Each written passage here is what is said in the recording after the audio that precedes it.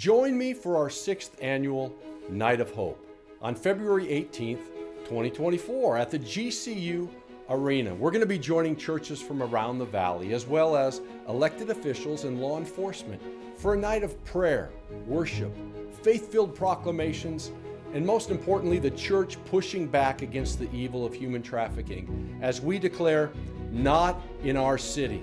So don't miss this important unifying opportunity to be the salt and light of Jesus in our time and in our state. Register today to attend or to volunteer. I'll see you there.